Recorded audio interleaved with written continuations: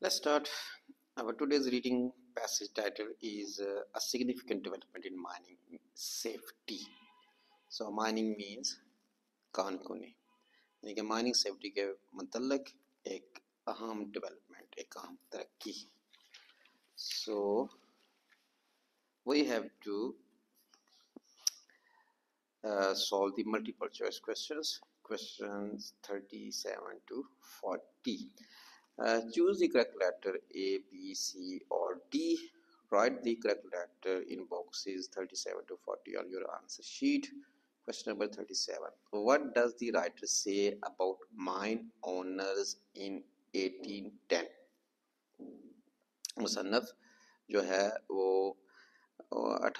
میں mine owners کے بارے میں کیا کہتا کہتا ہے so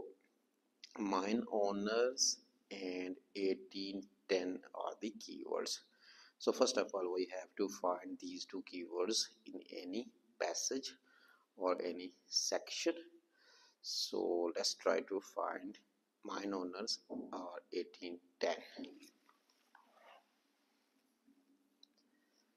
so 1810 is given here by about eighteen ten the problem was become acute اٹھارہ سو دس میں یہ مسئلہ اور سنگین ہوتا جا رہا تھا and in some cases there was no alternative to working in the dark اور بعض ایسے معاملات تھے کہ اندھیرے کے سوا کام کرنے کا کوئی متبادل حال بھی نہیں تھا some mines were being force to stop production کچھ کانوں کو زبردستی پروڈکشن پیداوار دینے سے روک دی بھی دیا گیا with serious economic consequences for mine owners and local communities جس کے جناب مائن اونرز اور لوکل جو کمیونٹی یا لوگ تھے وہاں کے مقامی ان پر بہت برا معاشی اثر بھی پیدا ہوا the general response was to keep going accept the deaths from the ignition of fire damp as an regrettable عام یہ رسپانس تھا کہ ہچکچاتے ہوئے اس کام کو جاری رکھا جائے اور ناگزیر موتوں کو قبول کیا جائے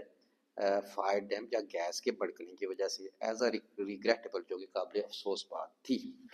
سو ایز اے ریگریٹیبل مینز قابل افسوس بات تھی اٹ مینز جو رائٹر ہے نا اس نے کیا کیا ہے جو مائن اونرز تھے نا جنہوں نے جناب مائنز کے کام کو جاری رکھا کانکونی کے کام کو جاری رکھا تو مصنف نے اس پر افسوس کیا it means the writer has criticise them so we can say that writer has criticized them so most of them disregarded safety issues b they were criticized for conditions in the mines so right answer is the b option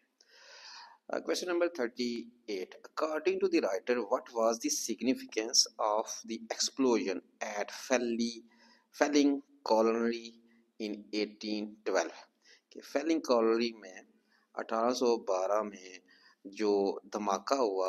اس کی کیا اہمیت تھی so explosion is a key word Felling colony is a key word in eighteen twelve is a key word so eighteen twelve is given here eighteen twelve by an explosion at Felling colony in northern England several professional people took action کہ اٹھارہ سو بارہ میں فیلنی colony northern England کے اندر جو دھماکہ ہوا اس پر مختلف پیشوں سے تعلق رکھنے والے لوگوں نے ایکشن لیا یعنی کہ اس پر آواز اٹھائی and a society was set up to raise funds for the discovery of new methods of lighting and ventilating mines اور ایک سوسائٹی یا آرگنائزیشن بھی قائم کی گئی جس کا کام فنڈز اکٹھے کرنا تھا اور ان فنڈز کی مدد سے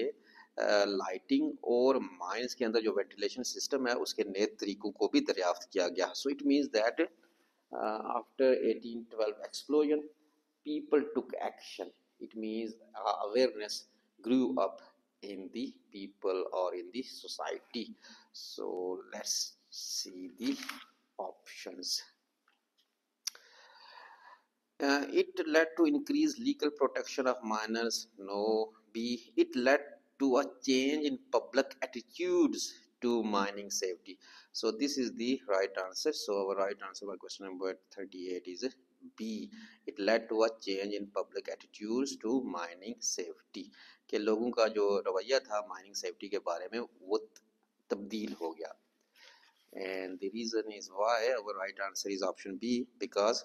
Several professional people took action and a society was set up to raise funds for the discovery of new methods of lighting and ventilating mines. Question number 39. Uh, the lamp presented by Davy was safer than previous methods of lighting because its flame. Davy uh, ने जो lamp present किया था वह safer वो महफूज था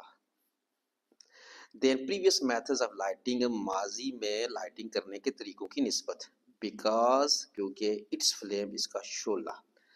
so Davy's the lamp presented by Davy was safer is these are the key words then previous methods of lighting ماضی کے پرانے لائٹنگ کے طریقوں کی نسبت because of its flame so lamp presented by Davy are the key words previous methods are the key words and its flame is also a keyword so sir humphrey davy uh, was a natural choice from home to seek help and he was approached by the society in 1815 the general belief nowadays is that he was the inventor of the first miner's safety lamp uh, in which uh, the flame was enclosed by a mesh screen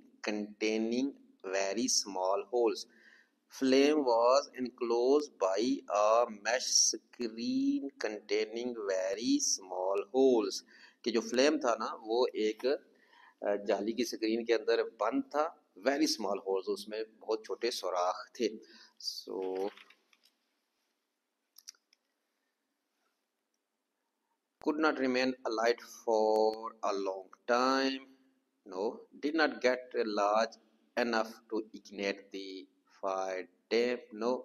c did not have any contact with the air no uh, d could not pass beyond the mesh screen यानी कि जो flame था वो mesh screen से बाहर नहीं आ सकता because the flame was enclosed in the mesh screen so d is the right answer and the reason why it's the right answer because flame was enclosed flame بند تھا یعنی it could not pass through the screen by a match screen containing very small holes question number forty what does the writer say about Davy and Stephenson Davy اور Stephenson کے بارے میں مصنف کیا کہتا ہے so Davy and Stephenson are the key words so sir Humphry Davy is given here we have already read and George Stepson is given here. An engineer called George Stepson had independently designed uh, and demonstrated a lamp. So if we read from 1816, however, a few weeks prior to Davy's presentation, in Davy presentation say, चंद हफ्ते पहले, an engineer called George Stepson had independently designed and demonstrated a lamp. کہ نے طور پر یا اپنی ہمت آپ ایک جناب لیمپ کا ڈیزائن تیار کیا تھا اور اس کا تجربہ بھی کیا تھا بیس on the same scientific principles جو کہ انیس سائنسی اصولوں پر بنا ہوا تھا جن سائنسی اصولوں پر ڈیوی نے اپنا لیمپ تیار کیا تھا so it means George Stephenson جو تھا نا اس نے ڈیوی کی پریزنٹیشن سے چند ہفتے پہلے ہی اپنا کیا کر لیا تھا جو تھا لیمپ تیار کر لیا تھا اور وہ لیمپ انہی سائنسی اصولوں پر بنا ہوا تھا جن سائنسی اصولوں پر ڈیوی نے اپنا لیمپ تیار کیا تھا سوچ مینز جارج ٹیپسن ڈیوی کی پریزنٹیشن سے پہلے ہی اس نے اپنا لیمپ تیار کیا ہوا تھا so Davy refuse to accept Stephenson work as it had not been fully trialled no Davy insisted on the safety lamp being named after him rather than Stephenson. No, see, uh, Stephenson claimed Davy's work was based on false principles. No, D. Stephenson produced a working example of a safety lamp before Davy. So it's our right answer. کیونکہ Davy کی presentation سے پہلے ہی steps نے اپنا ایک safety lamp تیار کر لیا تھا so right answer is D